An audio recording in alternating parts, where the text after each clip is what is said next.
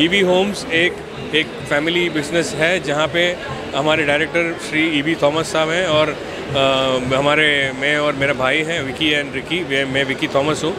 And हम लोग ने ये कंपनी को लास्ट थर्टी फाइव ईयर्स से हमने इसको संभाला है एंड हमने काफ़ी प्रोजेक्ट्स किए हैं।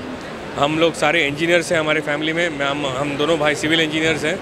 एंड हम लोग बारीकी से हर एक प्रोजेक्ट को हम लोग टेक केयर करते हैं, उनके टेक्निकलिटी से लेके, उनके जो मटेरियल्स से लेके आईएसओ स्टैंडर्ड मटेरियल्स से लेके, और काम के, करने के तरीके से लेके।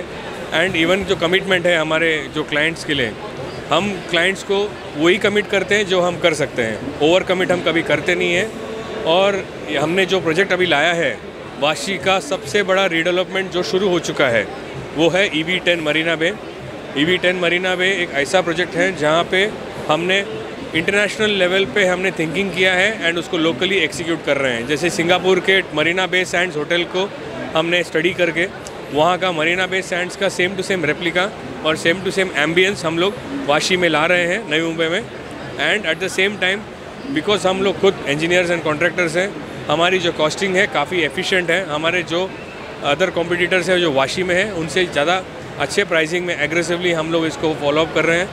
एंड उसके साथ में कंस्ट्रक्शन का भी हमारा जो क्वालिटी है, वो at par with international standards हम कर रहे हैं। हमारा ओमान में मस्कत में भी कॉन्ट्रैक्टिंग एंड कंस्ट्रक्शन का बिज़नेस है, जिसके वजह से हम जो इंटरनेशनल स्टैंडर्ड्स हम यहाँ पे ला रहे हैं, यहाँ के जो इंजीनियर्स है, पूरे प्रोजेक्ट मैनेजमेंट टीम है तो पूरी टीम हमारी दुबई एंड ओमान से है मिडल ईस्ट से है, और काफ़ी अच्छे तरीके से काम हो रहा है। मैं आप लोग सबको बीएनएम की तरफ़ से ई e होम्स की तरफ़ से and ten Marina Bay project की तरफ़ से आप सबको इनवाइट करता हूँ कि बुकिंग कीजिए या नहीं कीजिए, पर ये जो एक एम्बियंस माहौल और ये जो प्रोजेक्ट्स का एक इन्फॉर्मेशन आप ज़रूर लीजिएगा, क्योंकि आज अगर आपने इन्फॉर्मेशन लेके आपने एक्शन लिया तो आपको आगे बहुत बेनिफिट होगी, और अगर एक्शन नहीं भी लिया तो भी आपको याद रहेगा कि उस दिन मैंने देखा था प्रोजेक्ट लिया, लेना चाहिए था।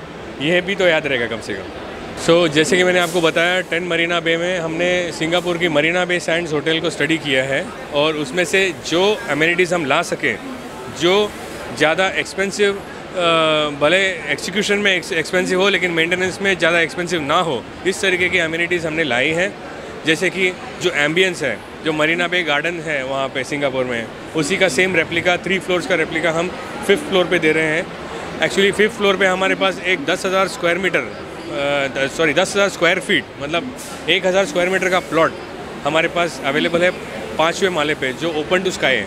और उस ओपन टू स्काई एरिया में एक बड़ा सा ग्राउंड है, जो आरजी है, वहाँ पे हमने ट्रीज़ जो दिए हैं, वो मरीना पे गार्डन के थ्री फ्लोर हाइटेड ट्रीज़ दे रहे हैं हम लोग वहाँ पे।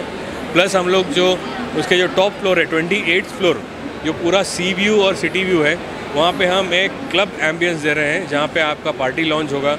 एक स्विमिंग पूल दे रहे हैं जो इन्फिनिटी पूल है। जहाँ से आप जैसे स्विम करोगे तो आपको पूरा का पूरा वाशी एंड पूरा पूरा पूरा जो समुंदर है मानकुट से लेके चंबूर घटकोपर तक आपको दिखाई देगा।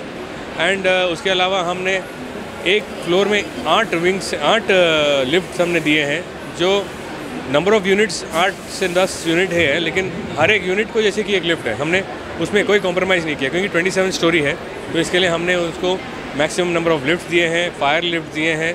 फायर के लिए रिलेटेड हमने जो भी है काम, उसके हमने सबसे बेस्ट प्रोविजंस किए हुए हैं।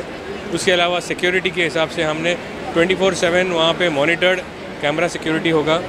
और उसके अलावा कार पार्किंग के लिए हमने फाइव फ्लोर्स का कार पार्किंग का पूरा एम्यूनिटी दिया हुआ है, जहाँ पे हम वन प्लस वन से वन से ज़्यादा हम लोग एक्सेस एक्स्ट्रा कार पार्किंग का हम लोग प्रोविज़न करके रख रहे हैं। And it is a beautiful project हम आपको इन्वाइट करते हैं उसमें।